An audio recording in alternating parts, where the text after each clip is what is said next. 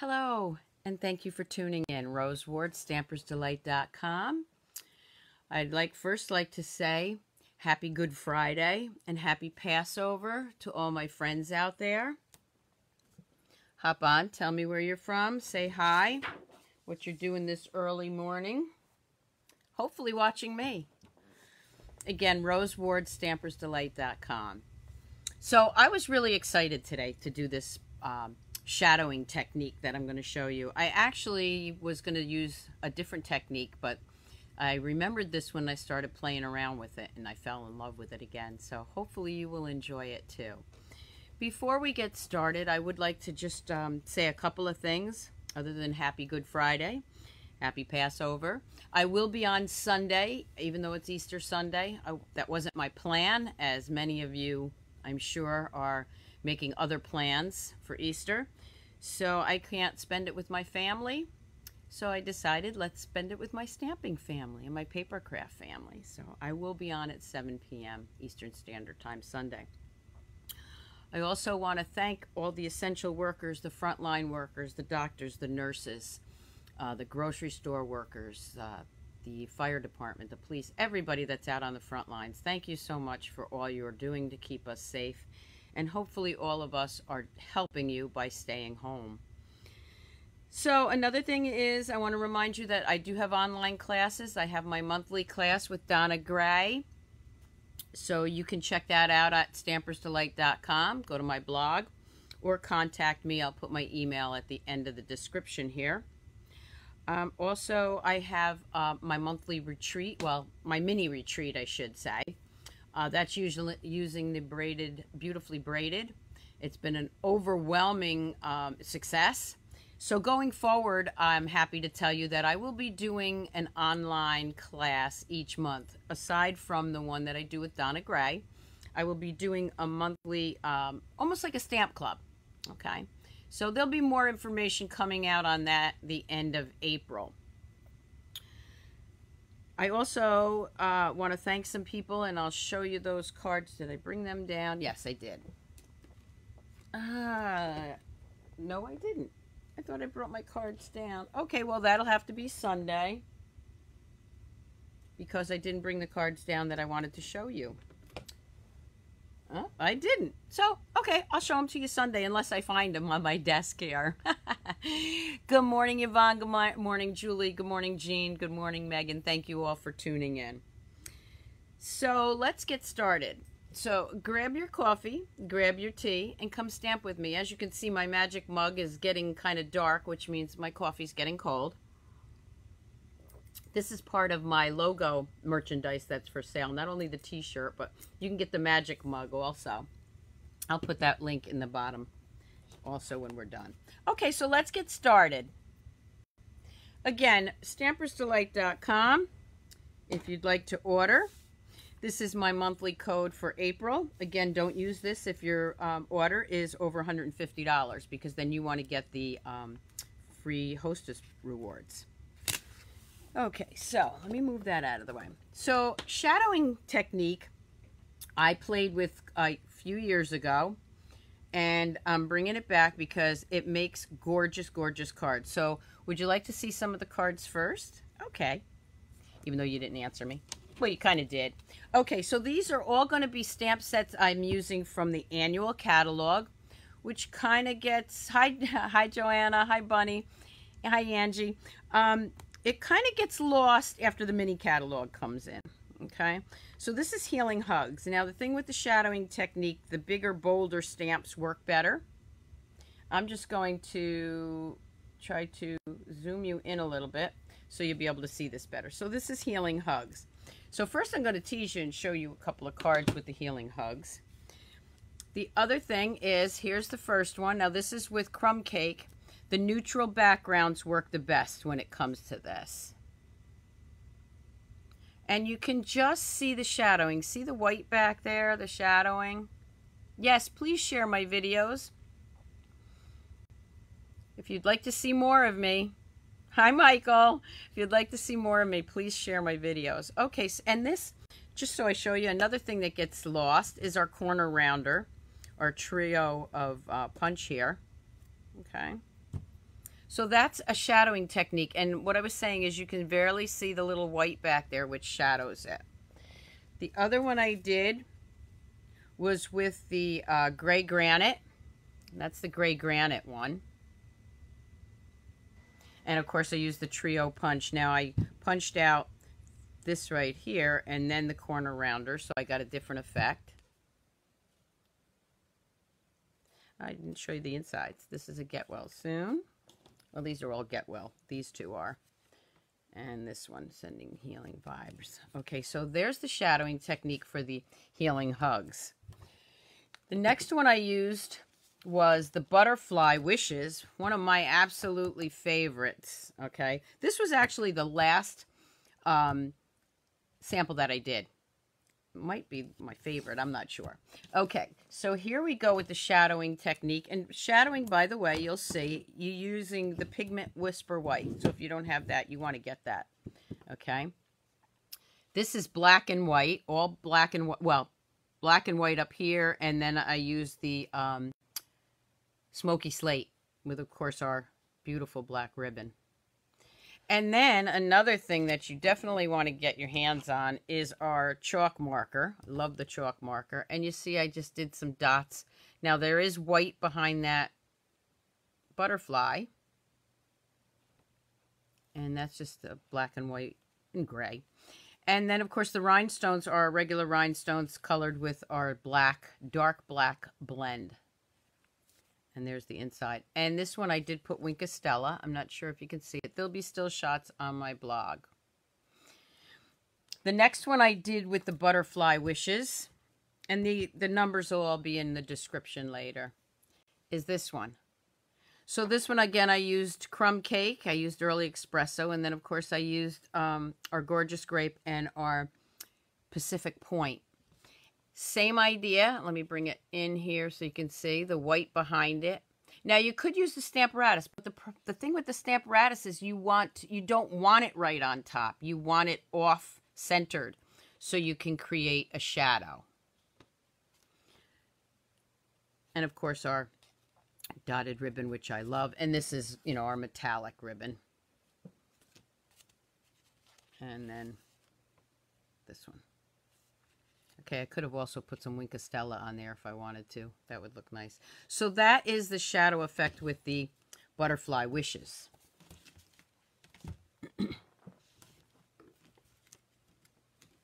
okay. The one I'm going to be showing now is Beautiful Friendship again in the annual catalog and it's a eh, this is the first time I started using this set and I absolutely love it as all my sets. This is a great set. And these um, stamps work great with it too. See how they have a bold image in the middle? So let's see what we created with this one. Okay so the first one I'm going to show you with the beautiful friendship. This one is with the smoky slate and perfect, uh, pretty peacock. And of course, some rhinestones on it. And I even, you know, even on the um, sentiments, I did the shadow background. The thing with the sentiments, the thinner the writing, the harder it is. Like this one I tried to do, and it just looked like I was drunk. Okay. So this is with the beautiful friendship. And of course, that's with uh, the large stamp and this stamp. Then I tried this one, hydrangea, I guess it is, in the gorgeous grape. You can really see the white back there for the shadowing. I'm not seeing any comments come up, but I'm still a green light, so hopefully I'm still good. And of course I used the colored rhinestones.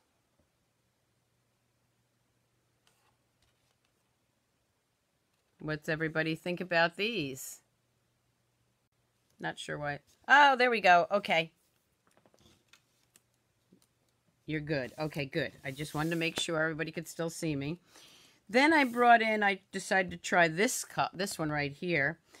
and I use the Melon Mambo. You can see I'm trying different colors to see the way they look. Okay, here's the Melon Mambo. Let me bring it up real close. Okay. With the pearls. What I found, and I'll show you some other samples that I did, the more neutral backgrounds work better. The crumb cake, the gray granite, and the smoky slate. They work better. Probably your favorite? Okay. And then, of course, if you want to put some Wink Stella on it, you can. This one, I did put it on the outside. You probably can't see that. Okay, so before I do the the project that I'm going to show you, let me show you what I did with a couple of other colors. Oh, there's one of my cards. Oh, good, I found one of my cards. Okay, so this was with the um, basic gray. And you can see that I off-centered that a little too much. But the basic gray, I mean, it looks nice. It just doesn't pop as much. The pink, the pink is your favorite. So the darker background, I just didn't think the flowers popped as much. And I also tried uh, per, uh, Pretty Peacock.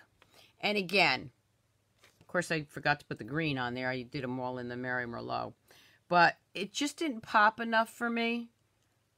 I mean, if you like it, that's great. So, yeah, would be great on the craft card bases. Yes, our Magnolia Suite with the craft card bases. So let me show you how I did that. Because I have a card that I already did that I didn't show you. And I'm going to put that one over here so I remember what I'm doing. And I'm going to bring in some different colors. Okay. So the first thing I'm going to do is bring in there's my Merry Merlot. And here is my Smoky Slate. I love the Smoky Slate. Now, I do have a card to show you after this is over, but I'm going to change this a little bit. The first thing I'm going to do is to change this card up a little bit. And I'm going to use my Trio Punch. Now, when you use your Trio Punch, you press right in the middle of it. Sorry for the banging. And you get that cute little cutout. Again, right in the middle. Going to go all the way around. I know it's making the table move. Sorry. Now, I could leave it just like this. Or I can go back in with the corner rounder and just round those corners just to make it a little bit different. And I'm going to do that. And again, this is in the annual catalog, this punch.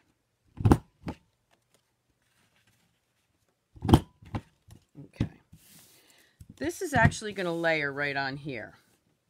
But I want to soften those edges too. So I'm going to go ahead and round, just round these off.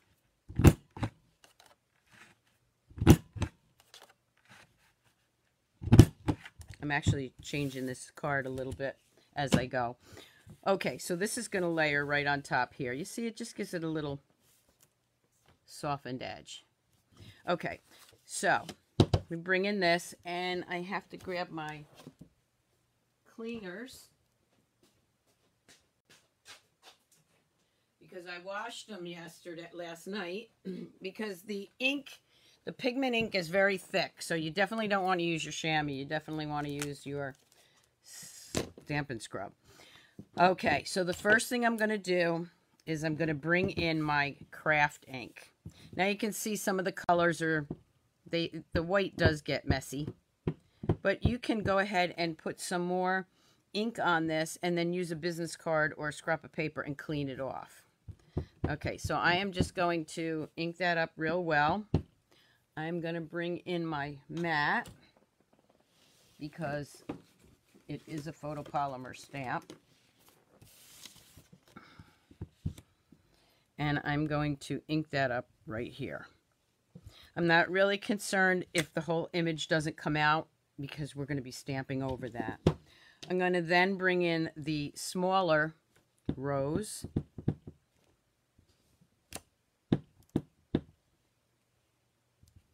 I'll do it a little off-centered here, maybe one right about here. Okay, so I'm going to do that.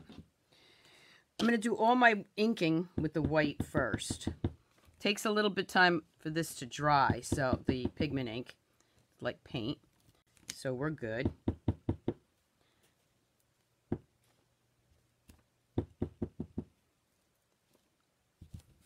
It didn't cover my mat either, but...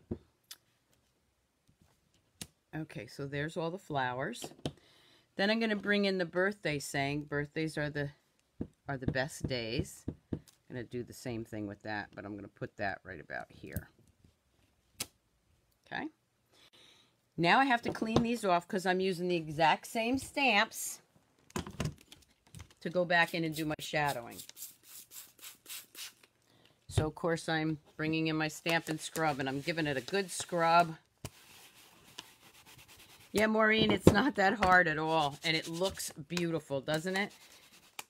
Like I said, I haven't done this in a while, and I'm racking, going through my brain here, because now I want to concentrate on more techniques. Okay. All right. Now I'm going to go back in with my, excuse me, my Merry Merlot. I'm using Merry Merlot, and I'm using Garden Green. I'm going to go ahead, ink that up. You can't see me inking it up, but trust me, I am. There's the ink. Okay. I'm going to go right back in. Now, I got to move this down a little bit. I'm going to go right back in on top of that. I don't want it exactly on top because I want to create a shadow.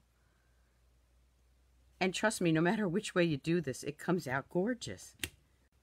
So you can just barely see the white edging. I actually could have done that off center a little bit more. So let's do the smaller ones. And let's see, this one is this way. So I'm going to just go in here. See how you see the white I'm going to go back in and do this one. It just creates a shadow. There we go. I'm going to go in with the leaves and the garden green. Oh, thank you, Bunny. Yeah, we tend to forget about those. And like I said, this wasn't even the one I was going to do today, so I'll have to do that one on Sunday. This one kept me awake because I couldn't wait to try it the other night when I remembered it. There I'm doing the garden green.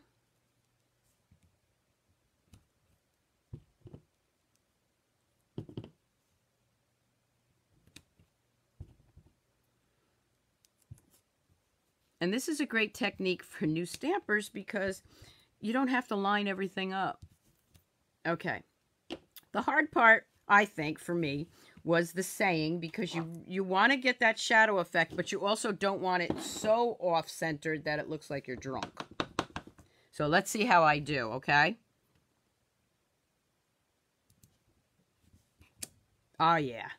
Perfect. So let me bring that up close to you. Yes, I could use my grid paper. I have grid paper right here. Uh, I use this grid paper. But you're right, the Stamparatus grid paper is smaller, but I like to wrap the whole thing. Uh, what Julie's saying is to wrap this. And I, if you've seen my other videos, you know most of them are wrapped. That one was kind of dirty, so I took it off. Okay, and there you go. You see how the birthday, this is, you can see it real well right here, the shadow. Okay, so now let me bring in my card base again and the other pieces. I'm going to go ahead and layer that right here. I'm going to use my, let's see, which ribbon did I want to use? Do I want to use it? Yeah, I love this ribbon. So I'm going to go ahead and grab this ribbon, move that out of the way. I use this one for a lot of cards because it just happens to be the right width. It's wide enough and it's thin enough to do a nice bow. So this one I'm going to just tie a bow around here before I... You could actually do the bow around this. Well, maybe we'll do that. Let's see, because I'm trying to change this one a little bit from the other one. Okay, so I'm going to glue it down first because you'll see the other one in a minute. And I want to change this up a little bit.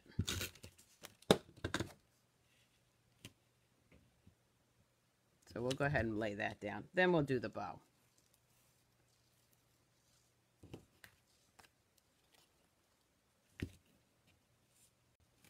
Thank you, Linda. Now, I think I have sent out all my Happy Mail, mail for the last couple of weeks. Hopefully everybody got their cards. Remember, I'm holding off on sending um, overseas or out of the country until we feel safe to go to the post office. And to do it online, it just doesn't come out too well to do overseas shipping online. So send me your address, email me your address, and I will get you out one when this is all over. If you're in the U.S. and I haven't sent you one yet, please just email me and I will send you out a Happy Mail card. Okay? Just so that we all stay in touch. I love this ribbon. And it doesn't matter which way, it, I mean, the one tail is up here and one is down here. And that's what I love about this ribbon. It looks good no matter what you do to it. Okay. Then I'm going to go ahead and take my card base now I use the thick whisper white normally for the ins for the base of my card. I think I grabbed the regular white. And this is going to layer right on here. And you see just a tad of the white showing through. So let's go ahead and layer that. Oh, that's a, you got international stamps coming. Hmm. I'll have to, have to check with my postman but we don't really see him. okay, and then I'm going to go ahead and lay that right in here. And then on the inside, I'm going to use the saying, I love our beautiful friendship. I'll do that in Merry Merlot over here. My ladder. Grab this flower. Almost stuck it in the green.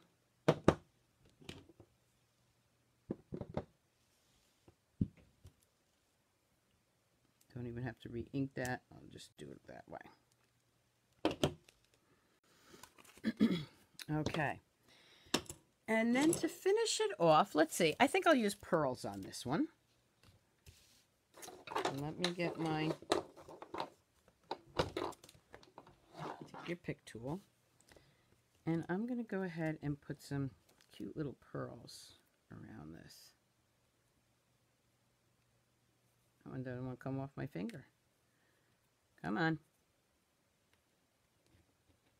There we go.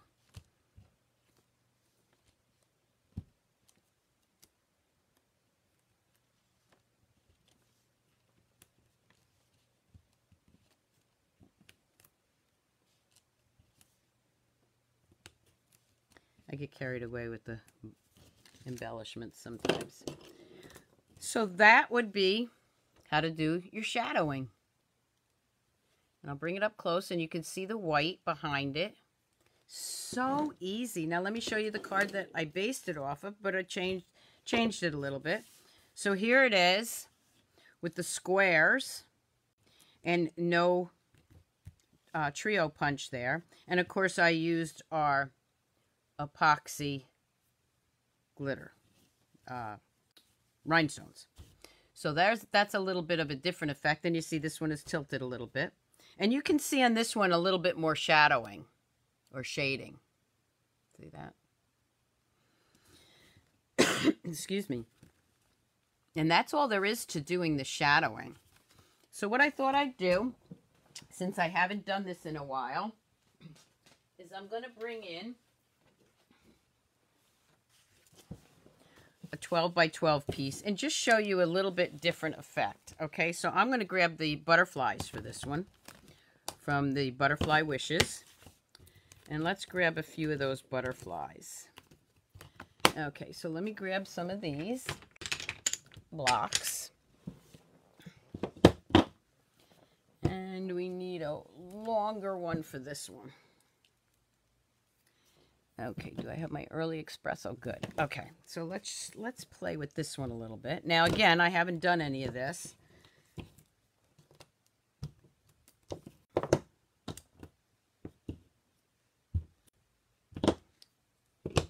And I probably won't get to finish it, but I just wanted to show you again how it works. And also how you can do a scrapbook page. I'm going to bring in my white I'll do the top of it so you can see that. I'm going to ink this up. Let's see, I'll do one here. And again, you see that it's not real. Um, I kind of want to do the corners. So I'll turn it. There we go. And then I'm going to go in with my butterflies. You'll see the finished one on this uh, probably tomorrow. okay, let's just do this.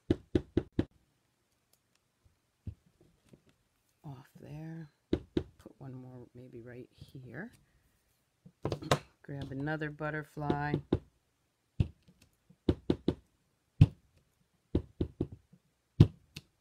Okay, so that would be the top of my page. Go ahead and clean this off. I just want to show you some other colors.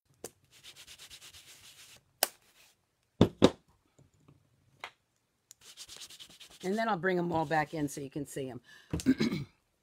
so for this one, I'm going to use Early Espresso, or Soft Suede, sorry. I'm going to use Gorgeous Grape and I'm going to use Pacific Point. So the first one I'm going to bring in is the soft suede, and I'm going to do the branches.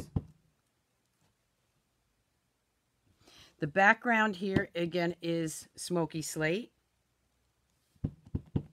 That's really giving it a nice shadow. And let's do this one over here. There we go.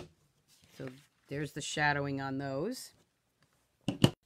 Now I'm going to bring in, excuse me, Pacific Point. Now remember, I haven't tried this one other than doing it on the card. So, okay, here's the Pacific Point. Oh, look how vibrant that looks. Oh my gosh. Oh my gosh, I love it.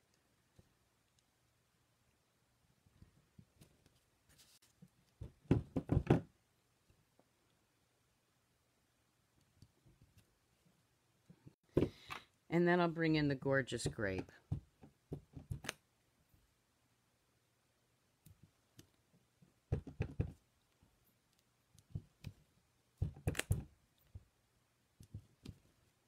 Okay, so this is the start of my scrapbook page. I'm going to bring it up close so you can see those vibrant colors. Now you see this one was off a little bit, but still it doesn't matter. Look at the colors. Oh my goodness, I'm so excited. I might have to do it the other side. So that's all there is to shadowing, the shadowing technique. I'm going to bring in the other cards again and show you. Let me just close up everything here. And I'm going to leave this right there. Oh, gosh, I love this. I can't wait to finish this page. What I'm going to do, and you'll see it when I'm done. Maybe I'll, I'll finish it tonight after work because I do have to get to work. I'm going to do it all the way around. Okay, so it's going to go all the way around. So stay tuned for that to see how it looked. All finished. So that's how you could do a quick, quick scrapbook page. Your daughter's heavenly birthday wishes so... Oh, you're welcome. Yes, it's not precise. It doesn't have to be precise. That's what's so great about it. It looks, and it looks great no matter what. All right, so here's the two cards again that I did. Showed you the difference on those. And then here's the pink one with, again, this is the um, beautiful friendship set. This is the butterfly wishes. So, you know, check out your um, stamp stash and just go for ones that are a little bit more bold so that you can ink them up and get the color. Oh, you love the technique? Thank you. Well, not that I, I mean, I didn't come up with it, obviously. Here's the um, Gorgeous Grape and Heather Highland. And then we have the Peacock.